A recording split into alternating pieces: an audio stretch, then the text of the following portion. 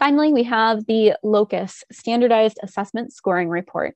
So this report shows you the average LOCUS score for the overall team and breaks down by consumer what the change over time is for those consumers between their initial LOCUS date compared to their most recent LOCUS score. In addition, you'll see whether or not there was an override done for those um, locuses that were completed for that assessment. Filtering allows you to select either primary staff or team. And I do just want to mention this bar chart is an aggregate summary for the team. So you're going to see what the average locus score is. If you hover over this in the live version, it's going to bring that information up. And it's also going to show you the average locus change over time between that initial locus date and the latest locus date do just want to mention we have some additional reports being built.